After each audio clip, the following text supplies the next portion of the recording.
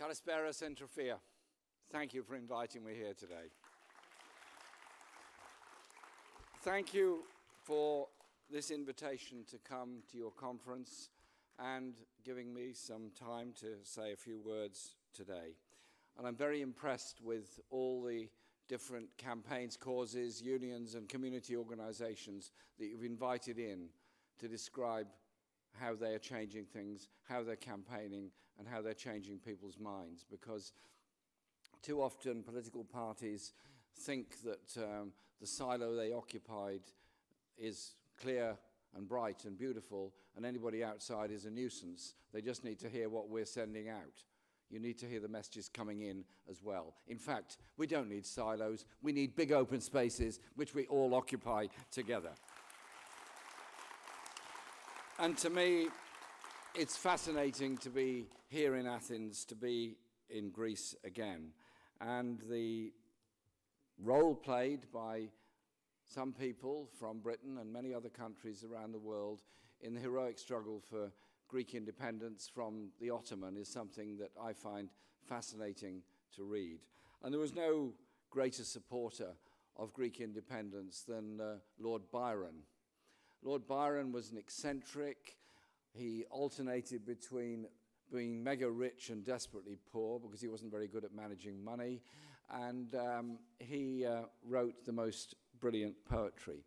But what isn't always known is that the only time he ever spoke in the House of Lords, which is the, was then the completely hereditary upper chamber of the British parliamentary system, he spoke up in support of a very desperate group of workers in Nottingham who were smashing up machines because the machines were being introduced by the employers and rendering a lot of workers unemployed because the machines took away the jobs of the workers. They were called the Luddites because they were allegedly standing in the way of progress.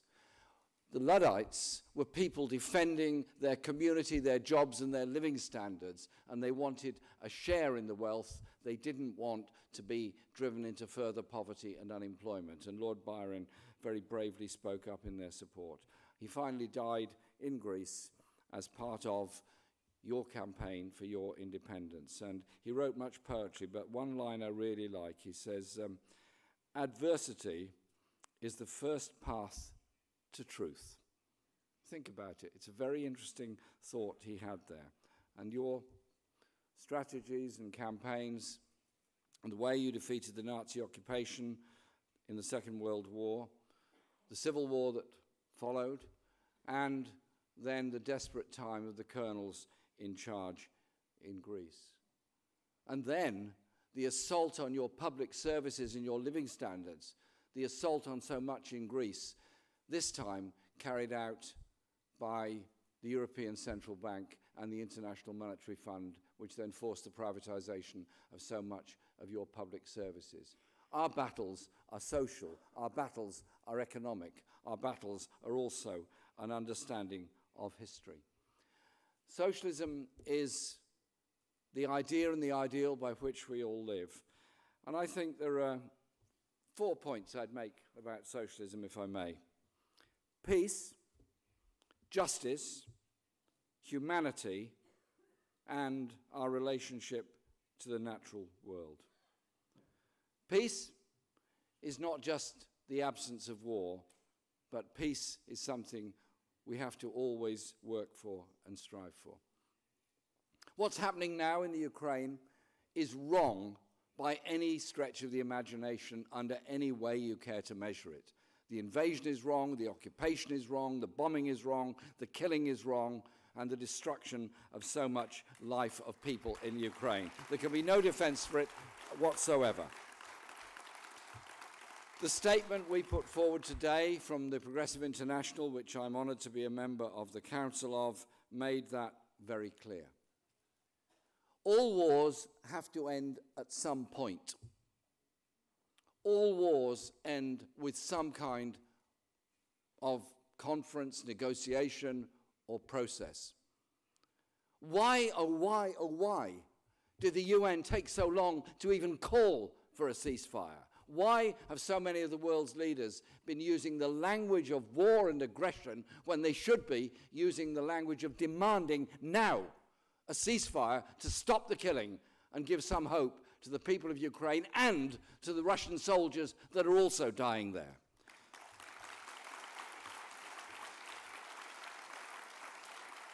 Because the longer it goes on, the more the deaths, the more the destruction, the more the hatred that would follow, and the economic and environmental consequences of this war go on. Food prices rising, many across North Africa and the Middle East will be desperately hungry later this year when the wheat supplies don't arrive from Russia and the Ukraine to make their bread. And the prices will go up all over the world as a result of it. It needs serious intervention to bring about a ceasefire and bring about peace for the people of the Ukraine. There are many other wars going on, sadly. There are more than 40 different conflicts going on at the present time. Think of the decades of war in Yemen the killing that's gone on in Yemen and the destruction of life that's gone on there. The war in Syria, the war in Libya, the terrible conflict in Iraq. All of these conflicts are fueled by the arms trade, and they all create massive numbers of victims. Occupation of one country by another creates occupation The great Irish writer, James Connolly, great socialist, said, one country that occupies another cannot itself be free. And he was talking about Br Britain and Ireland. But the consequences of that occupation are devastating for people. And today, we mourn the death of Shireen Abu Akleh, a journalist from Al Jazeera, killed, shot in the head by Israeli occupying forces on the West Bank, where she was reporting on the lives of Palestinian people. She follows, sadly, many others that have been killed as a result of that occupation. And today, even at her funeral, the Israeli armed forces managed to disrupt the funeral, and even the coffin fell to the ground as a result of it. Today, our sympathies, our solidarity with her and her family, but also with the Palestinian people. The occupation must end. It cannot go on. It is not sustainable.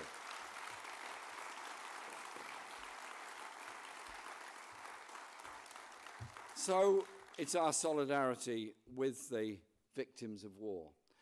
But when the fighting stops, and the occupying forces have withdrawn, that is never the end of the story. Afghanistan, the occupation started in 2001, so far as the West were concerned. We formed the Stop the War Coalition in Britain in opposition to the occupation of Afghanistan, not Iraq, Afghanistan, which came before. 20 years later, 21 years later, they're withdrawn the troops leave, and Afghanistan is now the most hungry, the most poorest, and the most repressive regime anywhere in the world. Hardly a testament to benign liberal intervention.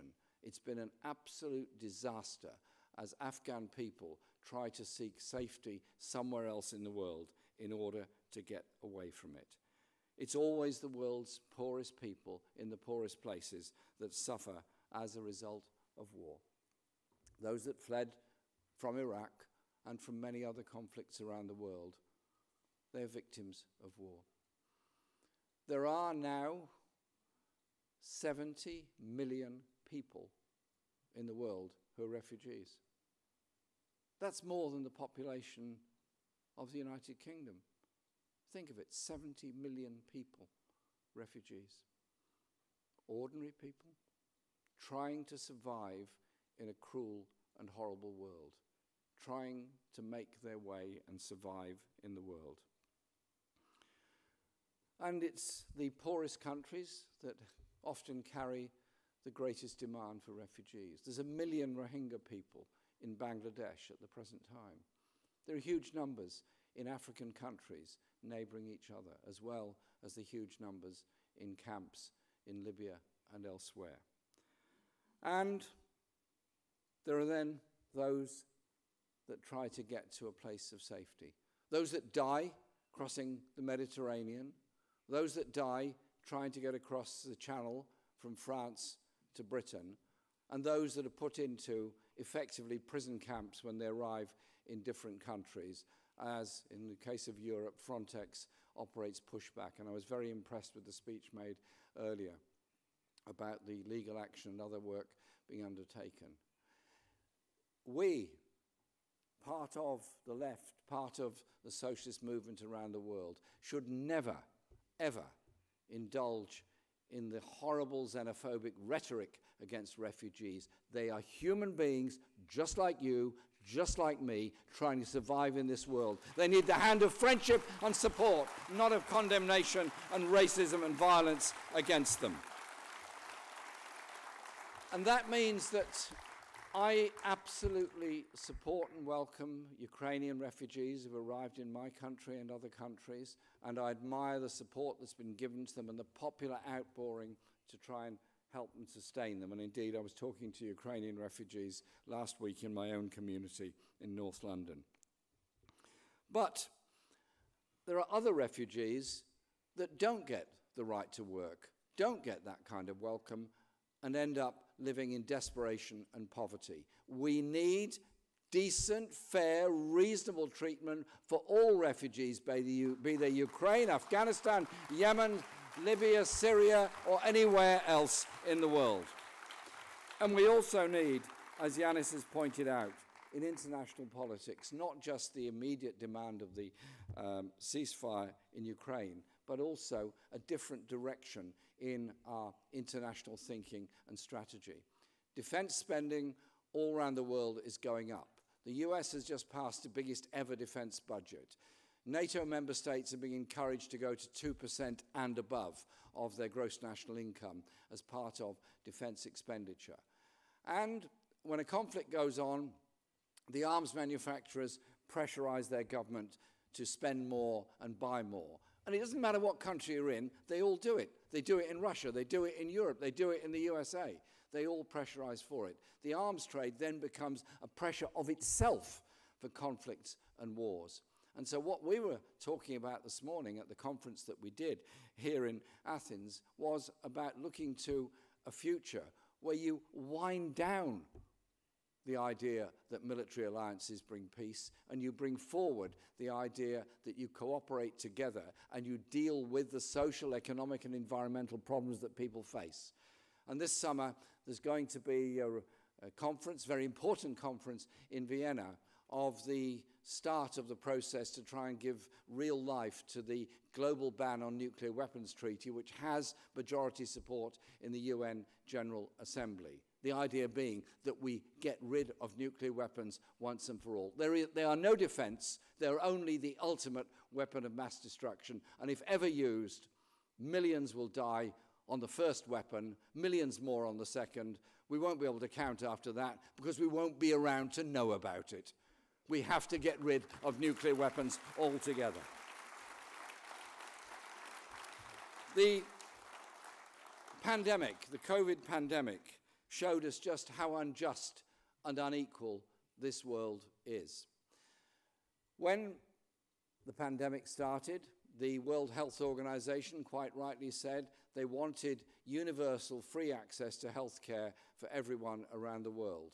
A very small number of countries actually have universal free access to health care. That pandemic exposed the poverty and inequality on this planet, exposed the way in which the poorest people are most susceptible to contagious diseases, and also exposed the good and the bad of humanity. The good were mutual aid groups, we call them in my country, others, uh, where citizens come together to support each other, support those that are going through difficulties, and help people going through a mental health crisis, and set up food banks and food cooperatives to make sure people got through.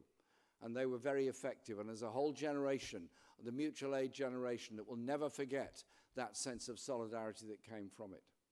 But the bad, the other side of it, was the grotesque profits made by big pharmaceutical companies as they overcharged for vaccine research, which was paid for by the public purse in country after country, and made massive profits out of this pandemic.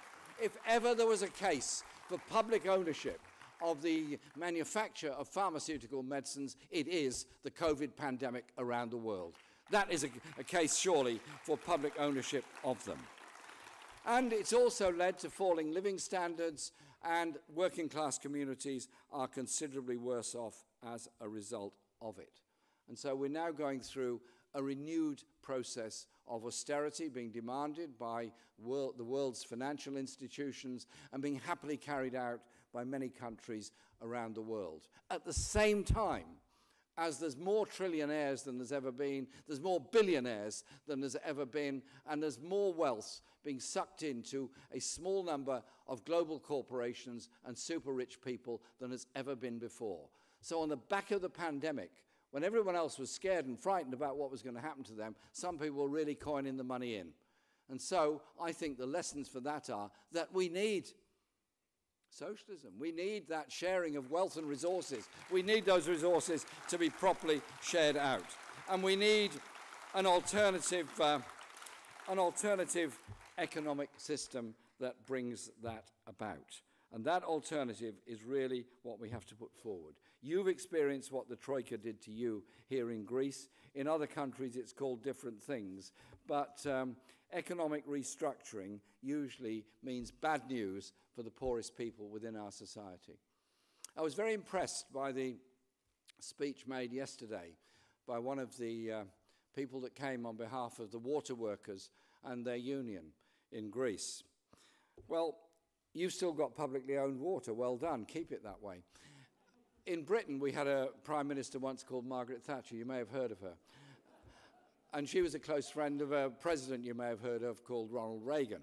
And they put forward this um, idea of Reaganomics, which was essentially you roll back the, the state, except for its um, military and policing functions, and you hand over all administration of all public services to the private sector and water was amongst those that were, was privatized in Britain. So all those water systems that had been built up by usually Labour municipalities over many years were, sold off to the private sector, to water companies at a low price.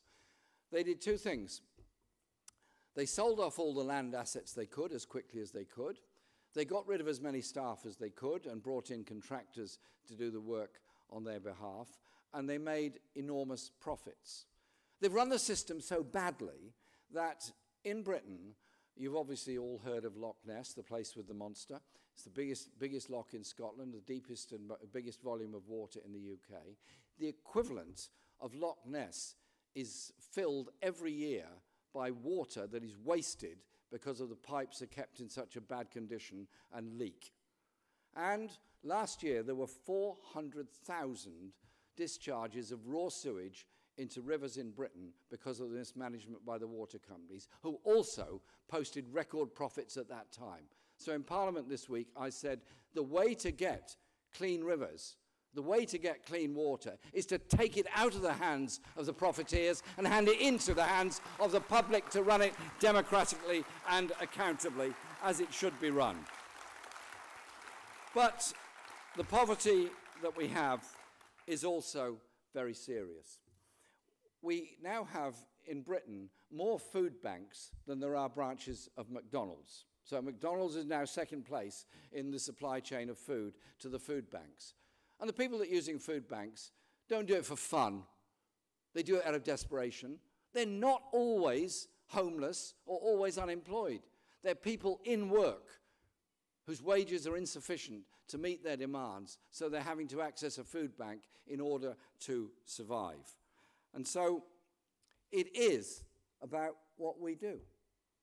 Yes, we support food banks, of course. We support food cooperatives, of course we do. But we have to mobilize in the wage crisis that's there at the moment to demand a decent, reasonable, sensible minimum wage, not just in one country, but in all countries. And an end to the tax havens, tax evasion, and tax avoidance, which has cost us and the public services so badly in every country around the world. That is the kind of economic agenda and economic justice that we have to bring about. And it's a big battle. It's a big battle to get that message across because, as Etche was pointing out, the fundamental message of the right is always it's individual. You can do it on your own. You can always get you can always manage it on your own, but it might mean you've got to exploit somebody else. You've got to take the ladder away that you've climbed up to make sure nobody comes up behind you. Well, that's not very human and a not very decent way of doing things.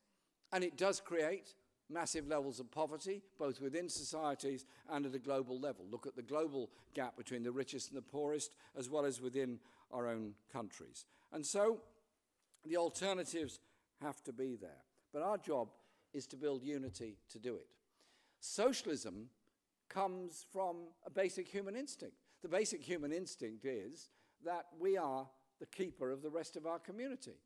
Community socialism is where a community comes together, often to try and defend maybe a hospital or a school that's closing or a service that's closing, but it can also be something that's demanding, demanding clean air, demanding clean water, demanding better and bigger schools, demanding more teachers, demanding better healthcare, demanding good quality, high paid, skilled jobs for our young people to move into when they finish their training and their university course or whatever they've taken forward.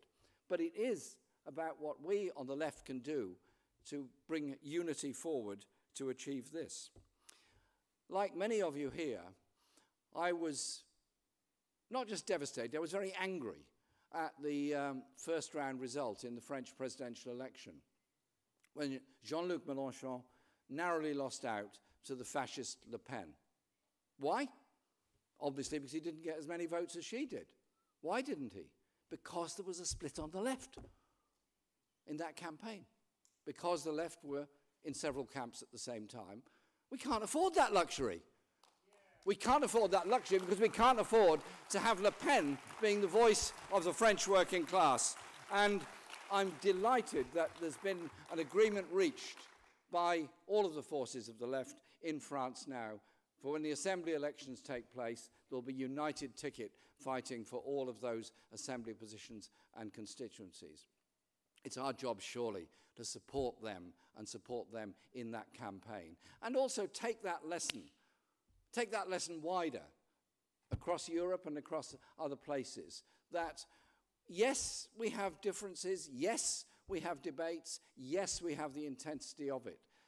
But let's not put ourselves into silos and refuse ever to listen to anybody else. The fundamentals that we have to put forward are peace, are humanity, are a change in the economic system and economic circumstances.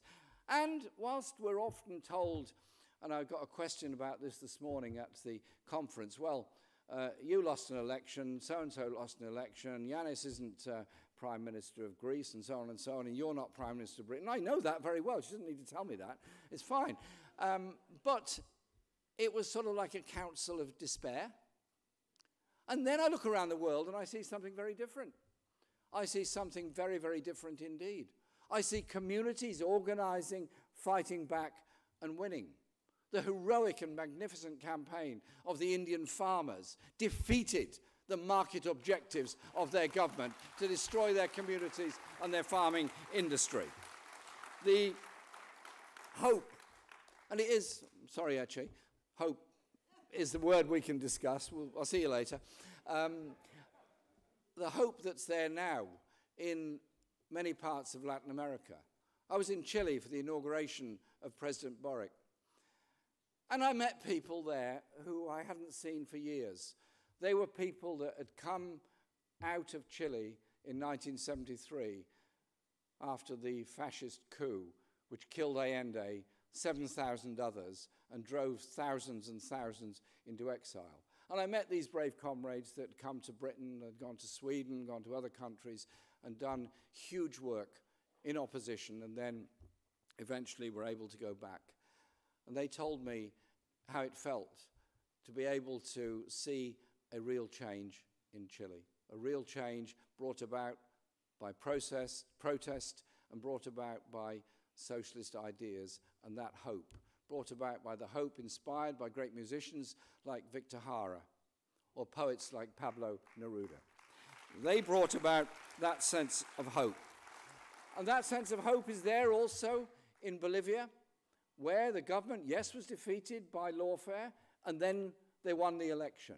And we've got an election coming up in Colombia very soon. The election coming up in Colombia is going to be fascinating, important, because the idea that somebody of the left can become president of Colombia, unite the people of that country, that the wealth of Colombia can be shared amongst its people, not siphoned off by global big business to take it all away from the people of Colombia. And talking of people that have come back and fought back, Lula, as president of Brazil, and then placed in prison, and then replaced by Dilma, who was then removed by another process of lawfare, and now the Workers' Party, with many other allies on the left, is fighting back. And we're all supporting Lula because we want to see that day when Lula is returned as president of Brazil as an answer to those that offer nothing but depression and hope. And so this call for unity is something to me that is very, very important. Outside the hall here, when we come in, I think there's a wonderful exhibition there on the walls to the side, which is Global Voices for Julian Assange. And I was really pleased in the video that uh, Yanis put on earlier, the message and the direct voice of Julian Assange. Julian Assange has told the truth about what the US was up to in Afghanistan, in Iraq, about Guantanamo Bay, and about their war planning, their gaming, and all the rest of it, and exposed the truth about so much. If he had been a journalist in Russia who had maneuvered himself over to the United States and told the world all about all kinds of secrets in Russia, he'd be a hero. He'd get anything he wanted. He'd get a congressional medal. He'd get the lot. Get everything.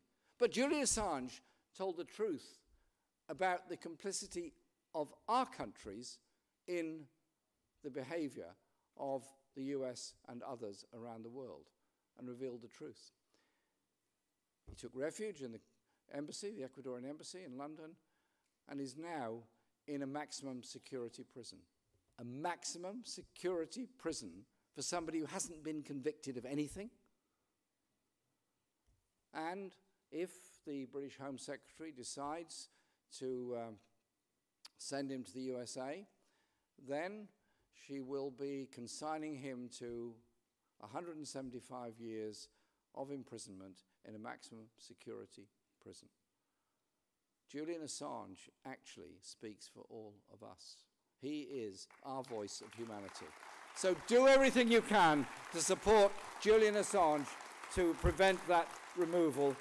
And it's very interesting that the media around the world seem a bit nervous about getting too involved in the campaign about Julian Assange.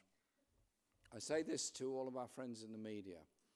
There, but for the grace of God, go all of you. He has told the truth about things. That is what investigative, real journalism is about. It's designed and should be to make life uncomfortable for people in office and people in power. I know that. That's right. That's what democracy is about challenging people. Julian challenged, so they put him in prison. Release Julian Assange!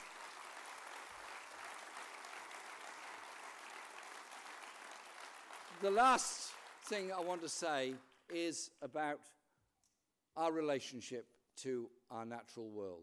This might sound a bit wacky, and indeed, when I made these kind of remarks during the first leadership campaign I did for the Labour Party, a few people said, Jeremy, please, please, let's talk about bees and insects and flowers, please. I said, Nah, I'm going to do it anyway. Why? Because the climate and environmental crisis has got to be addressed in a holistic way. Yes, it is about um, carbon dioxide emissions, which have the greenhouse effect of increasing global temperatures. It's also the levels of pollution, which get into the upper atmosphere and damage the air quality of all of us. It is also about the pollution of rivers and seas by plastic and chemical pollution. It is also about the destruction of the biodiversity of our lives because we are part of a global species. We rely actually for our very existence on the totality of the natural world and the natural environment. And when I went to COP25 uh, in um, Paris, I was actually quite encouraged. I was quite encouraged that all the countries of the world were there. I was quite encouraged by an awful lot that was said. And Naomi Klein and myself organised what we thought would be a small um, erudite seminar. We'd have a little chat with people. It was a bit difficult because there were 600 crammed into the room and about 500 more outside. But they were keen to hear a message and to be involved in things. And so it is about protecting and enhancing our biodiversity. COP26 in Glasgow was not a great success in the sense that the declarations were limited, there was an awful lot of greenwash, and there was a phenomenal amount of environmental lobbying, as Etche was pointing out, of people pretending to be suddenly very green. It's become a very big business to be green. But there was another COP going on. Our project, the Project for Peace and Justice, organised a week of alternative events in a theatre, Webster's Theatre, in Glasgow. And people came there and came together. What was fascinating was the huge numbers of people that came to Glasgow in hope of a better, more sustainable world were also confronted by the refuse workers, the bin collectors, strike in Glasgow at the same time. So there were piles of rubbish all over Glasgow. They joined forces with the unions of the refuse workers, and the refuse workers joined forces with them, A, to demand decent pay and conditions, and B, proper and better recycling, reusing, and reduction of the waste that's there. There was a unity between the Glasgow working class who were working in those bins and the global environmental movement. It's that unity that will bring about real environmental justice. We're not going to get the end to climate change without system change of a world based on profit and exploitation of natural resources rather than the protection and development of an, an economy that can run on a sustainable, in a sustainable way. I know it sounds a big ask and complicated, but it's not really. Because when I was confronted with these issues and I wanted to see how I could develop my party's policy on it, Rebecca Long Bailey and myself had a long discussion about it. She is uh, Member of Parliament in Salford, just outside Manchester. And uh, she said, Jeremy, any policy we put forward has got to be something I can honestly go to the doorstep of anybody in my community and say, this policy is for you, wherever you work. If you're in a polluting industry or whatever you're doing, it is a green industrial revolution we need. You get that by public investment. You get that by advanced technology. You get that by um, giving people a real stake in a greener, more sustainable world. It can be done, but it can't be done if we stick to the tired old free market economies of inequality, injustice, and, and built in poverty to it. We are the green industrial revolution. That has to be the slogan of the left all over the world, because it's only the green industrial revolution that can save this planet. Socialism is about living with nature, is about understanding each other, is about solidarity. But it's also recognizing where our rights have come from. You go through the whole wonderful broad stream of history and you see those heroic struggles. Who ended the slave trade? Who ended slavery around the world? I was taught in school it was done by a very nice man who was, happened to be a Tory member of Parliament in Britain, but he was a very nice man, and he introduced a bill to end slavery and that was the end of it. It's absolute nonsense. It's total tosh. It's rubbish. What happened was the slaves who had survived the Middle Passage and got from Africa to the Caribbean and North America were in revolt, in constant revolt.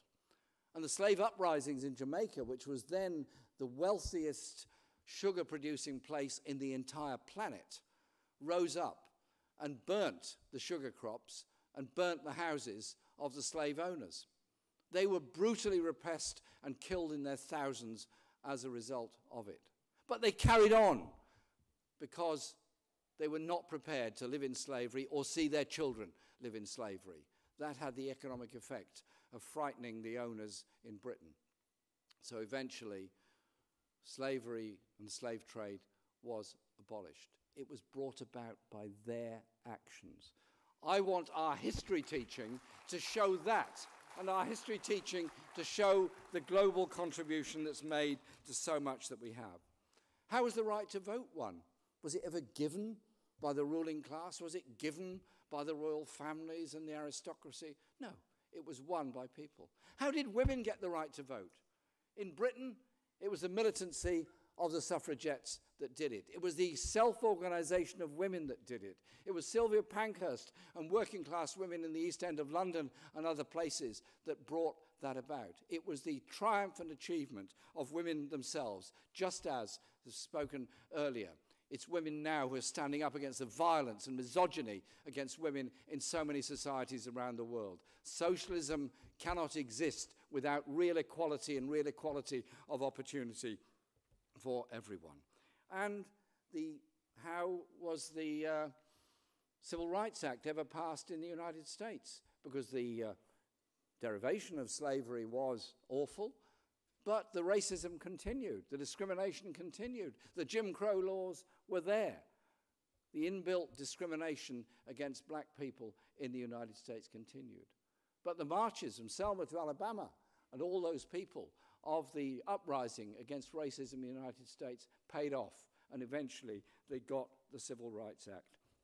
It is about our power and our pressure. So socialism comes within our communities. And so let's stop just being defensive and start being determinative and demanding of decent health, of decent schools, of decent jobs, of a society that gives security for all that gives rights for all and protections for all.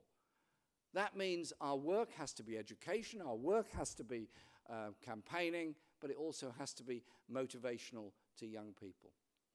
Young people are growing up in a world where there's the greatest ever level of consumerism, there's the greatest ever level of choice, and there's apparently the greatest ever source of information. You've only got to reach for your mobile phone, or I've left mine over there, but there you go.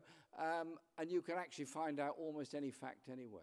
What you probably don't realize is there's an algorithm telling you what you want to find out. There's an algorithm that's following your thought process and tells you what, to, what you want to know. I mean, I turn on my phone, and miraculously, within a second, comes up some news about Arsenal Football Club. Oh, I live near Arsenal, I support Arsenal, but it's not the only thing in my life. But the phone thinks it is, so it gives me this information whether I want it or not. Now, I can sort of bypass that and find something else. But take the technology and the genius of these algorithms a bit further, and then look at the success of Donald Trump, of Bolsonaro, of the right in Australia, and many others, and you begin to see how this extremely clever sophisticated technology can sell things, can buy things, can influence people, and can change minds, and can create racism, can create fear, can create danger for people. We need to have some thinking about the way in which the small number of very big companies control so much of what our media is about. We need to get that message out there and give hope to people. We need to build a a society that really is fit for the next generation. Because I'm frightened of young people growing up over-tested and stressed in too many of our schools in too many countries that are in debt because they have to go to college or university. Now going through a housing crisis where they pay more than ever for a rented flat and the insecurity that comes with that. And then being told that the public services they thought they were going to have in health and so on are going to be disappearing because they're all going to be privatized and they've got to make their way in a market economy. And those less able, those less achievable are not going to get any part of that. We've got to create a world of fairness and of justice. It's a big task, it's a big ask. Nobody ever did anything on their own but it's the unity of people in all our campaigns, all our groups, all over the world, understanding where we've come from, the better to know where we're going to go. Thank you very much indeed.